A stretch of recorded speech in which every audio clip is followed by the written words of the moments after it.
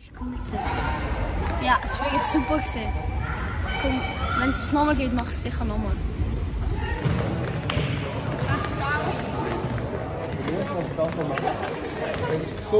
Also ich habe es toll gefunden, äh, mit einer Nazi-Spielerin zu trainieren.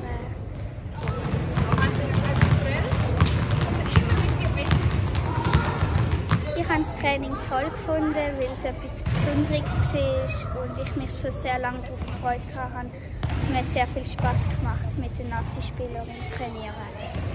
Also eigentlich hast du dreimal richtig gemacht und nachher dort, wo du am Schluss hast du Luft verkehrt gemacht. Ich habe es toll gefunden, mal mit jemand anderem zu trainieren und es hat mir sehr, sehr Spaß gemacht. Mit hoffentlich 6000 Leuten in dieser Halle, die für mich persönlich auch das absolute Highlight von